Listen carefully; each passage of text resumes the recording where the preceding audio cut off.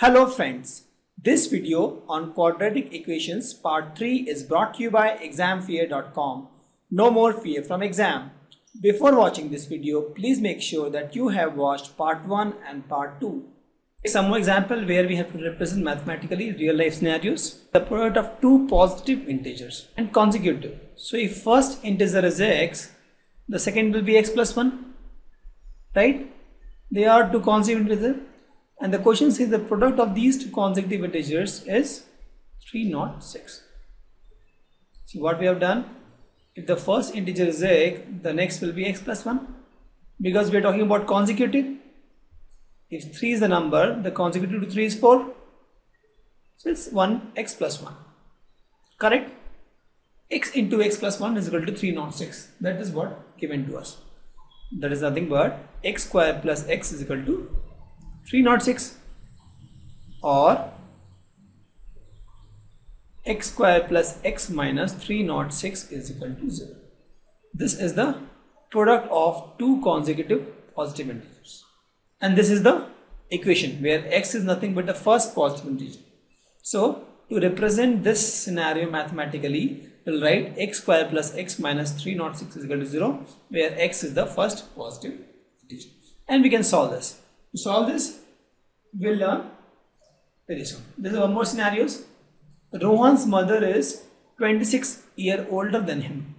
The product of their ages, ages 3 years from now will be 360. We have to find Rohan's present age. So this guy is Rohan. Let's suppose this present age is x. And the question says Rohan's mother is 36 year 26 years older to him. So mother will be 26 plus age. Right? and this is nothing but current age. Now the question says the product of their age is 3 years from now. That is, we'll write 3 years from now age.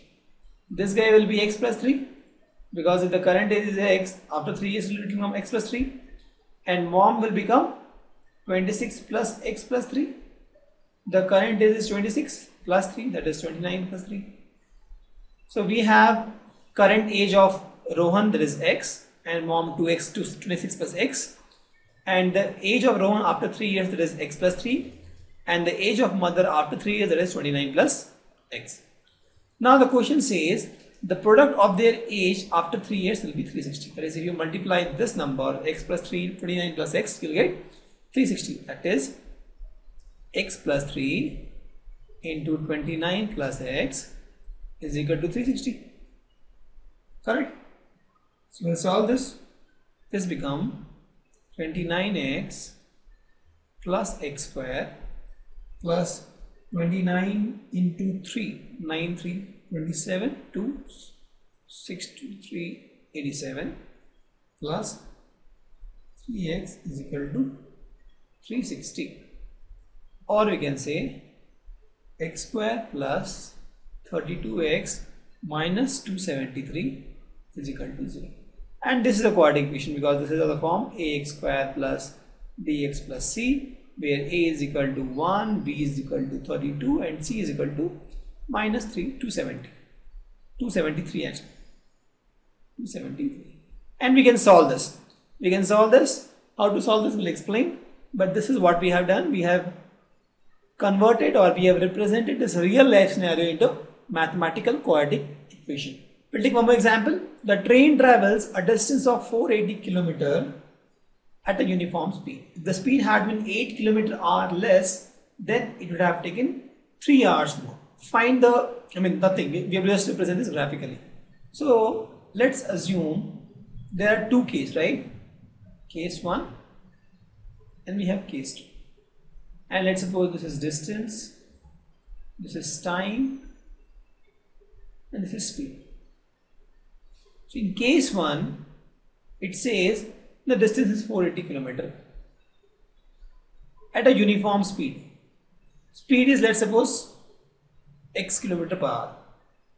And time let's suppose it takes t right?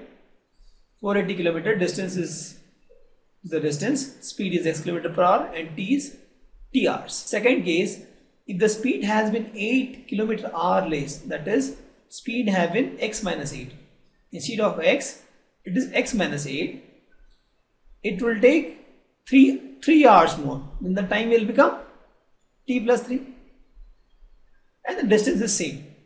Distance is same same distance. Distance is same. So we have two scenarios. In first scenario distance is 480 time is t speed is x second scenario distance is 480 time is t plus 3 and speed is x minus 8 correct? We know the formula. Time is equal to distance by speed. So in case 1 t is equal to 480 by x. In case 2 time is equal to t plus 3 t plus 3 is equal to 480 by x minus 8 right? This is my equation 1 and this is my equation 2 just we have represented this in the term and we have used the formula time is equal to distance by speed. So in first case time is equal to t distance is equal to 480 speed is equal to x. In second case time is equal to t plus 3 distance is equal to 480 speed is equal to x minus 8 and that's what we have written here. You subtract these two equations t will get cancelled. So we'll get 3 is equal to 480 by x minus 8 minus 480 by x. Correct? And this is nothing but if you take 480 common 1 by x minus 8 by 1 minus x. Correct? Let's solve this actually. So this becomes x minus 8 this becomes x.